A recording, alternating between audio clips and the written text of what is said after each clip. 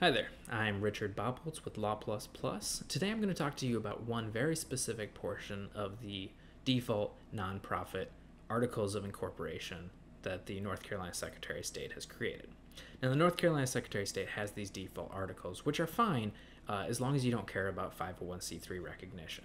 If you want 501c3 recognition, you're going to have to modify these articles slightly to make them uh, approved by the IRS in your 501c3 application. But that's not what we're talking about today. We're talking about this one little box that says the organization has members or does not have members. So, so the problem I have with the members section is that it's not clear that a legal member under your articles is actually someone who has the say in how the corporation, the nonprofit corporation, is run. So, what that means in a real life example is that when we had when I had one client who wanted to get 501c3 recognition, they actually needed to bring in a vote of their members. Now, they had about 200 members at the time, which means they had to get 100 of them in a room together to vote on whether or not they could move forward with the 501c3 recognition.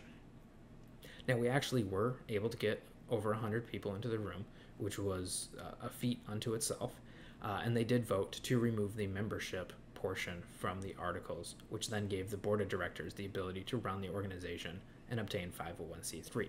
So that was a happy ending uh, for that story. There are other stories that aren't so happy. If you can't get the the minimum quorum into a room together or onto an online meeting or however your bylaws state meetings can happen, then you're not going to be able to make the changes necessary to move forward with your organization. I have actually had multiple uh, organizations have to shut down because they just could not move forward. They either needed new board members or they needed to make structural changes that couldn't happen without the members.